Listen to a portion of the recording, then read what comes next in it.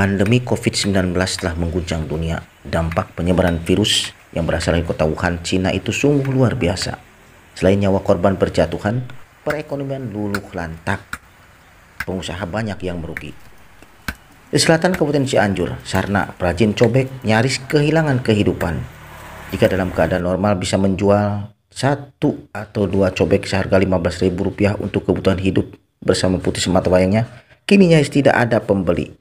Hal tersebut menambah deretan potret buram dari Naringgul, Cianjur, bagian selatan. Pantauan berita 5. Selain terancam kelaparan, mereka harus tinggal di gubuk reot berukuran 2,5 kali 3 meter yang sudah pasti tidak layak huni tanpa penerangan listrik.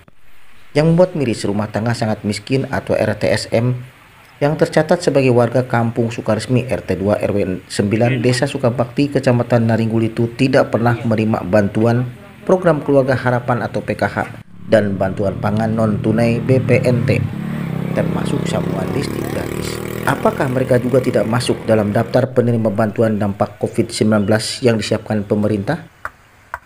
Dari Cianjur, Paturoni Alfian Berita 5 mengabarkan.